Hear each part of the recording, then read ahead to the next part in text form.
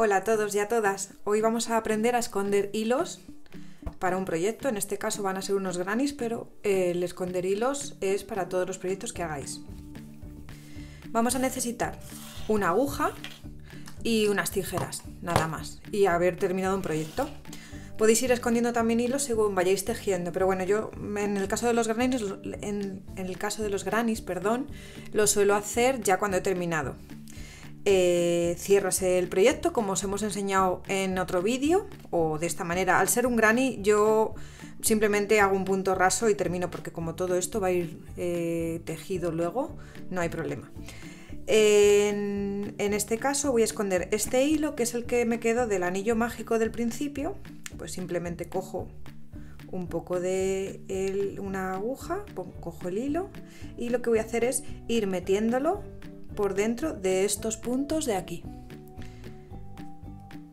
Más o menos. Este no tiene mucho misterio porque mm, eh, como el anillo mágico ya eh, enreda un poquito, por decirlo de alguna manera, el hilo, no necesitas tampoco meterle mucho. Voy a meterle... Si me cuesta un poco por aquí, puedo venirme un poquito por aquí.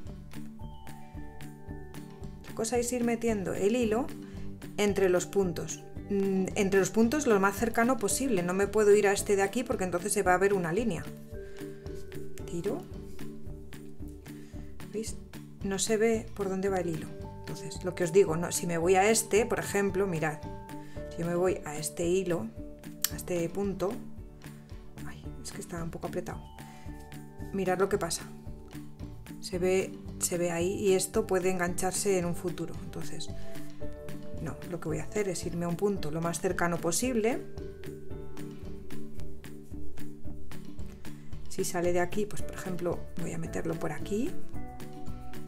Espero que lo estéis viendo bien. Y ya está. Este sería el primero. ¿Vale? Y corto. Este os digo, lo voy a esconder un poquito porque ya se queda bastante escondido con el anillo mágico.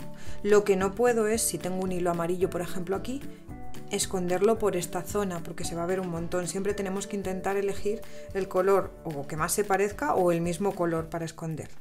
Ahora voy a ir con el último. Este terminé con un punto raso, no terminé como os he enseñado en otro vídeo, es un cierre normal.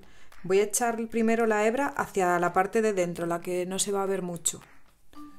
¿Vale? Se supone este es el derecho, este es el revés pues la he traído hacia atrás. Y ahora lo que hago es lo mismo, voy metiéndolo con mucho cuidado entre los puntos. Voy buscando puntos en los que yo crea que al hacer esto no se va a notar. Por ejemplo, este lo puedo sacar por aquí. Ahí, ¿veis que no se nota? Es más fácil esconder punto, eh, los hilos cuando, es un punto, cuando son puntos bajos porque como que el punto queda más cerradito y bueno, se ve, se, esconde mucho mejor. Pero veis, voy usando mm, un poco el tejido, voy fijándome por dónde podría meterlo. Lo estoy metiendo por ahí. De manera que se va quedando, ¿veis? Se ha quedado invisible. Y por aquí delante tampoco se ve. Pero siempre estoy escondiendo por la parte de atrás. Vengo por aquí. Y vengo por aquí, por ejemplo, despacito. No lo vamos a hacer seguido porque lo que quiero es ir mirando por donde mi hilo va a quedar más disimulado. Aquí uso estos tres o cuatro puntos que están juntos.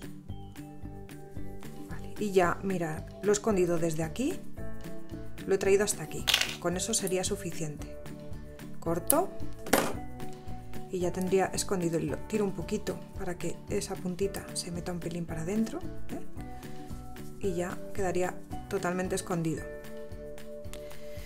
Bueno, este es otro de los truquitos que os estamos enseñando estos días. Si os gustan este tipo de vídeos, podéis escribirnos, podéis eh, poner en los comentarios otras cositas que os gustaría ver en nuestro canal. Acordaros de suscribiros al canal, darle un like y seguirnos en nuestras redes sociales. Os voy a dejar el enlace en la descripción del vídeo de otros vídeos parecidos a esto que os pueden ayudar a la hora de terminar vuestras labores de ganchillo.